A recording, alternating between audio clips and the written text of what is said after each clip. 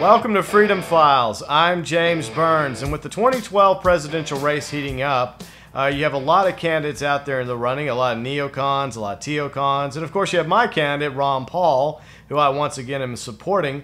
And I thought this would be a great opportunity for us to take a trip back in time uh, to 2008 when Ron Paul was in Shreveport campaigning. Uh, fortunately, I uh, recorded that speech, and I've been meaning to put it up on the Freedom Files channel for some time now. And I thought this would be a great opportunity to uh, do so. A lot of the stuff he talks about in this speech uh, resonates with uh, issues going on today.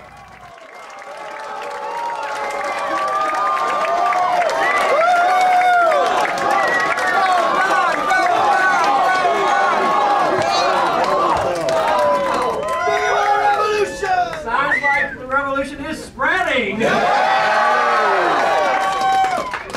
Is beginning or not? Really well, it's a real nice reception. I do want to introduce uh, some members of my family here. My wife, Carol. my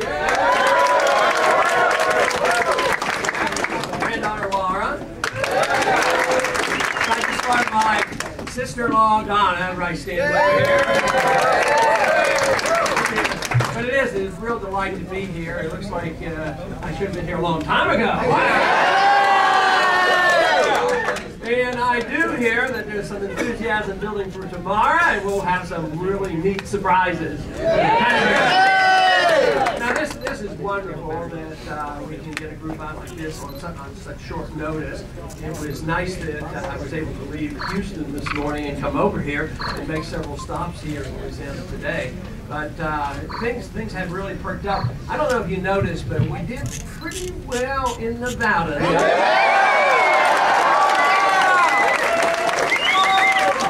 And uh, there's a certain mayor that's been having trouble lately.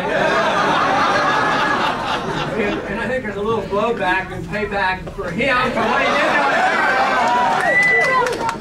But uh, you know, it, it's really exciting to me what's happened last year.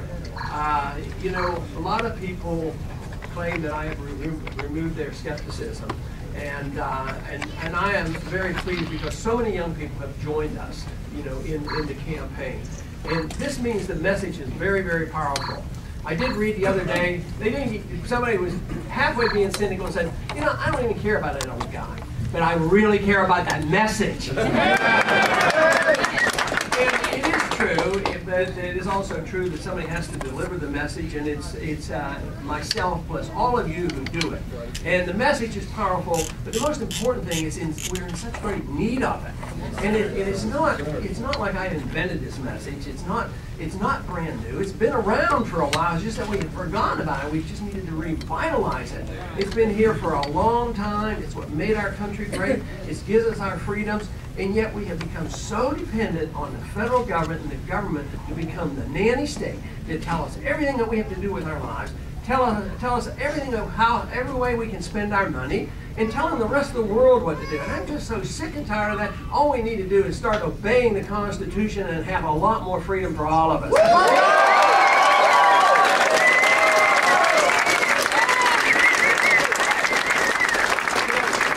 If we had a system of government like that, you know what it would do to our tax system. That's pretty easy to figure that out. Because we wouldn't have to worry about income taxes. We'd get rid of the IRS.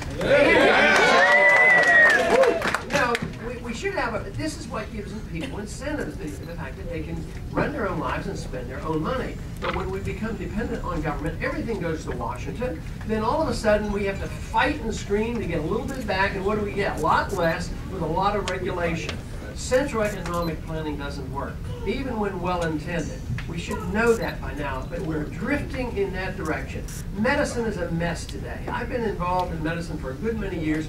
When I started in medicine, there uh, it was doctor-patient relationship, not the government. For 35 years now, we've had the introduction of managed care, and the government has taken over and it's failed. What has it done? It's just pushed the cost of medicine up. That's what it's done. Quality is down, distribution is poor, you don't have the choice of your doctor, and we have all this mess in medicine because we've had too much government. And guess what? What are most of the demands that we're hearing about? Well, what we need is, uh, you know, socialized medicine, one payer system. What we need is more freedom of choice.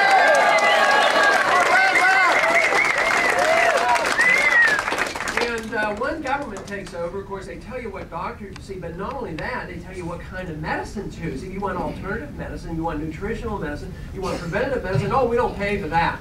So this is the reason that choice is so important, whether it's our personal lifestyle, whether it's picking uh, our medical care, or how we spend our money. And this is what freedom is all about. And it's also the reason people come together. People of diversity come together because everybody gets to use their freedom as they choose. This brings people together. What we have today is very divisive because some central government planner gets control and then they own our lives, they own our property, and then if we have property, it ends up we don't really own it anymore. We pay rent on it. We have to ask the government all these permissions on what we can do and how and how we can make use of our property. So we have lost our way, and uh, on, on property, you know, if the government decides that they think it can, your property can be better used, they have the eminent domain laws. They come in, oh, we're going to take your property and give it to somebody else. Yeah. This is uh, the system of government that has brought us to really a bankruptcy. I was going to say near bankruptcy, but we it's not near bankruptcy. We're insolvent, and the reflection of a country that becomes insolvent is the currency goes down. And the currency is going down. And what happens? The standard of living of all Americans will go down. But first, the poor and the middle class get clobbered. Right. And today, economics has become the number one issue. The war is a big issue, foreign policy is a big issue, deficits are an issue, and they're all connected, but it translates in a weaker economy, and people are waking up to it. But even a year ago when I started, I talked about the economy and been predicting problems for years because of our monetary system. But now it's becoming very well known, and people are saying, well, you know, my problem is I just can't afford uh, to pay for my insurance, or I can't afford to buy my house, I can't afford this. And what that means is not so much that they have less dollars, it's that the dollars they have have less value. Right. And this is a ruthless way that governments for not a hundred years, but thousands of years have used to undermine the middle class and the poor at the expense, uh, at, at, to the benefit of those who are in charge. But we're doing it once again. It's more sophisticated than ever before because governments, it used to be they would dilute the gold or clip the coins and, and the value of the currency. To run a world empire uh, or to have uh, bread and circuses at home. And uh, every empire ends for economic reasons. And now we're facing our own problem because we've spread ourselves too widely around the world. We pretend that our wealth is going to last forever, but all we have is debt. We can't even operate our foreign policy or our domestic policy without borrowing from the Chinese. I mean, that's how bad.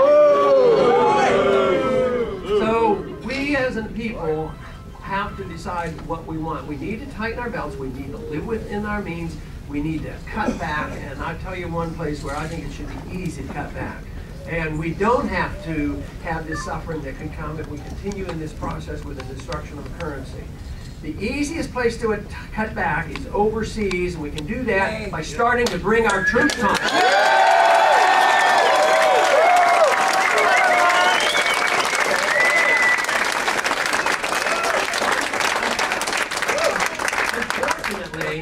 unfortunately, today, there's not a serious intent to bring troops home. Matter of fact, all the other uh, candidates are talking about how long they're going to stay. You know, Senator McCain came up with the idea. Yeah. If we have to stay 100 years, we should stay. And, uh, you know, uh, the other threat is the war is likely to spread. We are involved behind the scenes trying to pick the next dictator of Pakistan. We're working very hard, once again, trying to overthrow the government of Iran. We've been doing that since the 50s, since we threw out and put in the Shah and threw out an elected leader. So it's on and on, and then they ask questions why they might get annoyed with us? Well, can you imagine what we would do as a people if somebody did to us what we do others? I believe we would be annoyed, yeah. and we would be unified, and we'd stand up against those that we saw as intruders and occupiers. And we just have to see that. But all these things come to an end because eventually countries can't afford it anymore. And that is what the story is about the weakening of the dollar. But if we change our way and change our, our, our, tactics and come home, we could restore some confidence.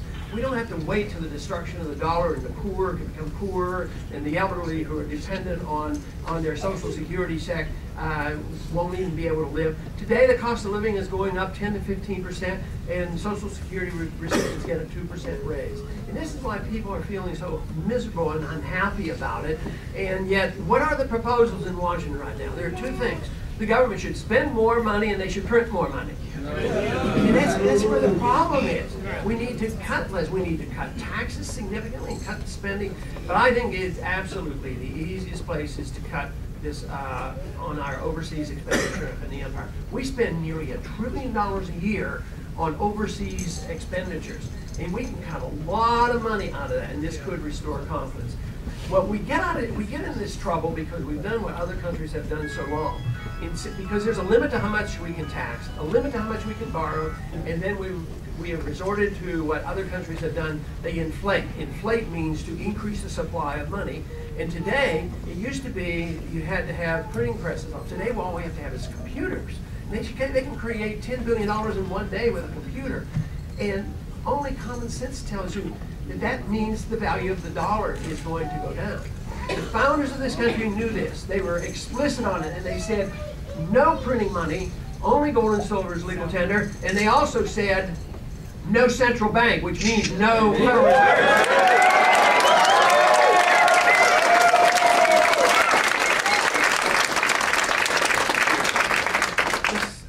conditions we have today, the conditions of perpetual war, staying for 100 years in Iraq, as well as having perpetual war against terrorism, which happens to be a tactic.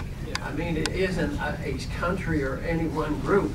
And the mentality now of the country is the war is perpetual, so we're expected to assume that our freedoms are going to be undermined perpetually. And that is where the problem is. Freedoms seem to be always undermined in times of war. War has been said is the health of the state. World War I, World War II, Korea War. Freedoms have been undermined, but they tended to come back to a degree. But now we say, well, this is going to last forever.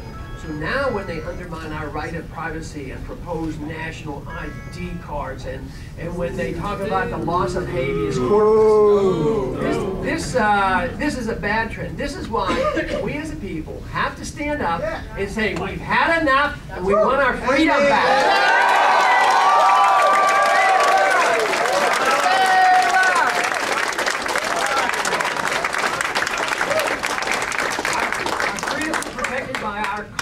Constitution.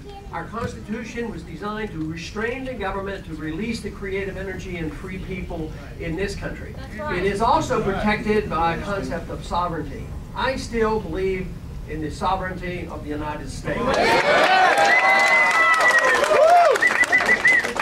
Which means, we should not be beholding to the United Nations, the IMF, the World Bank, the WTO, NAFTA, American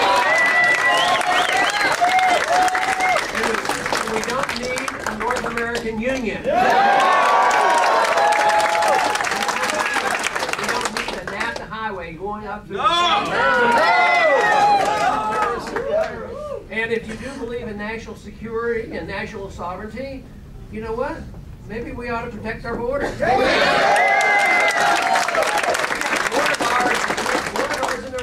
National Guard units, which should be here for natural disaster problems as well as invasions of illegals. Where are our guard units? They're being run down and worn out and sent overseas. They ought to be here to take care of the problems. Uh, the promise of amnesty and the promise of uh, benefits to any who come here illegally is an incentive for them to come. And uh, this this has to change. And we have and this can be restored by, by just uh, following the rules, the, the, law of the land, and, and so many people have been taught for so many decades now that the Constitution is a relative document. It should be uh, fluctuating and adapted to current times. We need to change the Constitution. We can. It should be done slowly and deliberately.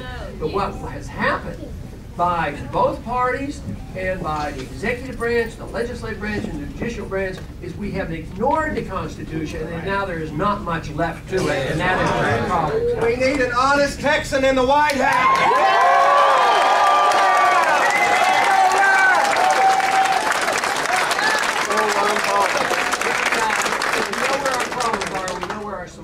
and we know that the enthusiasm is building. And tomorrow, I understand there will be a caucus now and then in this, this state, and a great deal of importance. And it can have a tremendous impact if we can do well there and get national attention. And uh, this this can be a real boost to us. So if, if you're not involved, find out how you can get involved, and let's really have a great showing tomorrow because uh, this this could be very very important.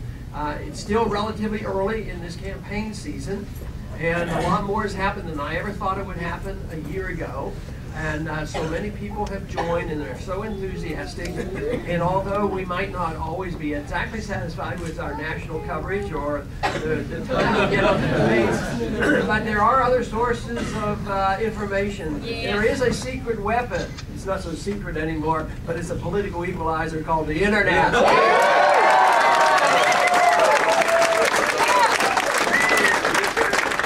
But I, I do want to thank you for coming out and for your enthusiasm. And uh, regardless of uh, what happens in the next day or two or a month or two, I am convinced that what we're doing now and what you have done and contributed to, we're, it's really only the beginning. Let's go forward and restore the freedoms of this country. Thank you very much.